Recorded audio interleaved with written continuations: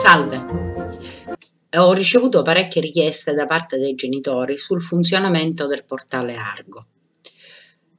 Questo video quindi è destinato a quei genitori che magari per la prima volta accedono al portale Argo perché nella scuola frequentata dai propri figliuoli si utilizza questa piattaforma per condividere assenze, voti e quant'altro. Procediamo. Eh, Aprire innanzitutto il browser per navigare su internet. Io utilizzo Google Chrome, voi potete utilizzare eh, questo, Internet Explorer, eh, Firefox o un altro browser, per quanto Firefox e Google Chrome sono quelli che supportano meglio i programmi della piattaforma. Digitate all'interno del motore di ricerca portale Argo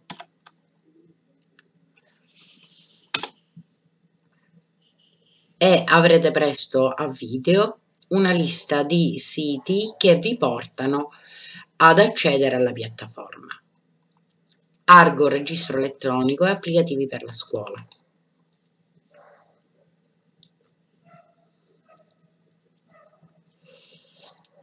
In fondo alla pagina troverete se sei genitore o alunni vai al portale per la famiglia. Clicca qui.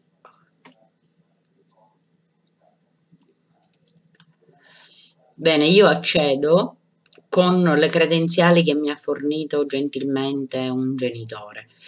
Eh, chiaramente saranno mascherate, però voi potrete prendere questi dati dalla lettera che vi ha consegnato la scuola al momento dell'iscrizione. Il codice della scuola solitamente è costituito da 5 lettere, eh, di cui due lettere e tre numeri. La stessa cosa per il nome utente e la stessa cosa per la password, potete prenderle dalla lettera.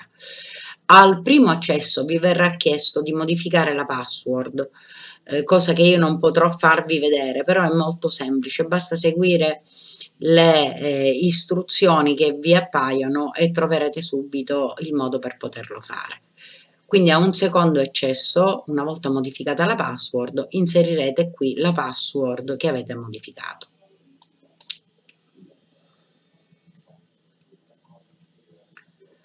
La pagina che vi appare chiaramente contiene l'intestazione dell'alunno. Qualora aveste due figli che frequentano la stessa scuola, avrete due account diversi eh, con i dati della scuola. Sulla sinistra invece c'è un menu relativo alle applicazioni che potete minimizzare o espandere cliccando sulla voce interessata. Andiamo a vedere una a uno queste voci. Servizi per l'alunno. Da questo menu è possibile vedere i dati dell'alunno, le tasse pagate, le assenze e i suoi voti. La prima schermata riguarda i dati anagrafici. Cliccando appariranno i dati anagrafici che la scuola ha inserito relativamente a vostro figlio. Qualora fossero errati siete pregati di comunicarlo alla segreteria didattica. Seconda voce il curriculum dell'alunno, cioè la classe in cui è stato scritto, in questo caso è un alunno di primo. Se vostro figlio avesse un percorso più lungo, eh, li troverete tutti elencati qui, compresi il credito, la media dell'anno frequentato e l'esito, se è stato promosso, bocciato. Tasse.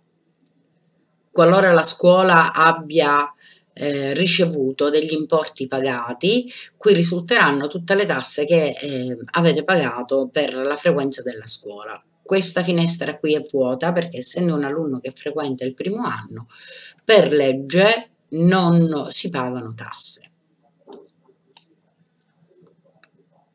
Assenze. Qui potete trovare tutte le assenze che ha effettuato l'alunno, sia come eh, giorni di assenze, sia come uscite, sia come ritardi in ingresso, con il totale dei giorni e il totale dei ritardi. Qualora accanto ci sia questo simbolo, vuol dire che l'assenza è stata giustificata.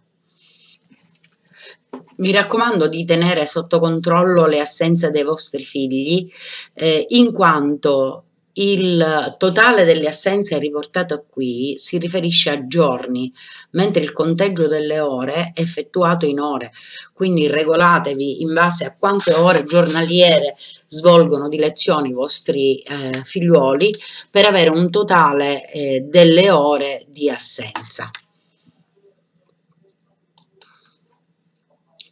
Qui è possibile vedere i voti riportati in ogni materia dal ragazzo con la data e un commento dell'insegnante qualora ci sia.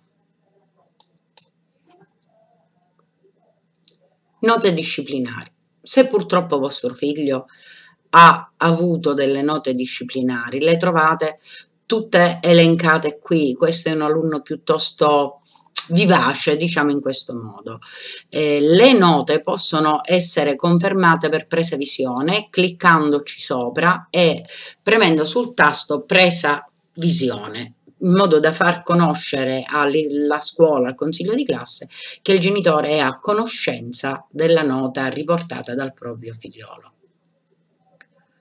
Voti dello scrutinio è attivo chiaramente nel caso in cui già si è svolto almeno uno scrutinio si, hanno, si ha la tabella con l'elenco dei voti e delle eh, assenze riportate in ore da parte del, dell'alunno. Quindi qui potete anche fare un calcolo delle ore di assenza. Infine il curriculum per un'eventuale posizione lavorativa dove trovate i dati personali, il tipo di istruzione che sta frequentando, la formazione, le lingue, eccetera, eccetera. E questo verrà compilato al momento in cui eh, l'alunno lascerà la scuola. Questo per quanto riguarda i servizi per l'alunno servizi per la classe, sono a disposizione eh, una serie di servizi che riguardano l'orario della classe, i compiti assegnati alla classe e così via. Primo disegno, compiti assegnati, quotidianamente risultano i compiti che sono stati assegnati al ragazzo e quindi magari eh, potete verificare se sono stati svolti tutti. L'argomento delle lezioni svolte in classe,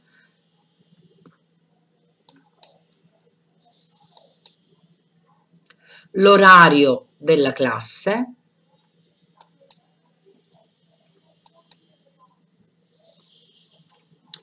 i rappresentanti dei genitori e degli alunni della classe.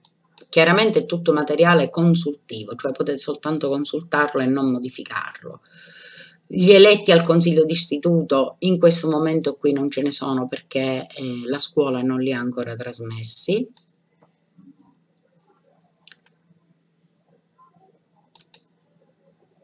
Ricevimento dei genitori mi soffermerò su questo argomento eh, in un prossimo video.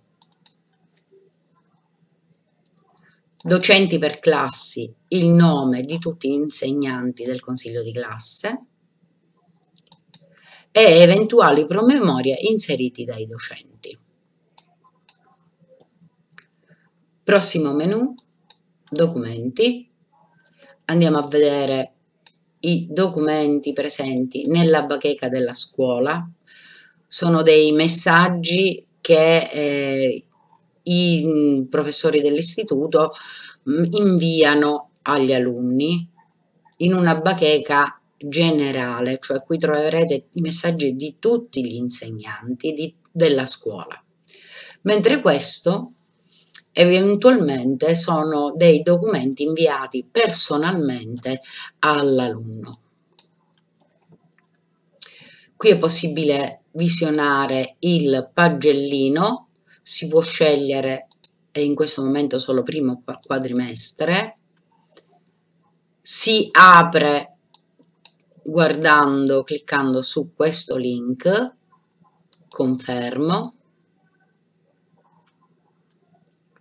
si attende un attimino per la composizione della pagina e viene scaricato nel mio browser qui sotto, quindi ho la possibilità di aprirlo e vederlo. Eh, quindi voi dovete spuntare per presa visione e confermare.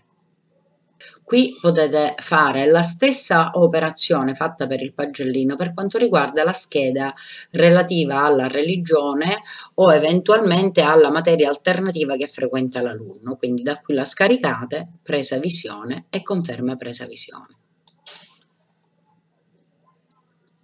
Condivisione con i docenti. In questa schermata è possibile inoltrare a uno dei docenti eh, del consiglio di classe dei documenti. Eh, indico questo perché eh, questa sono io e so per certo che l'alunno mi ha inviato degli elaborati degli e selezionandone uno è possibile scaricarlo con il download, modificarlo oppure caricarne uno nuovo con upload.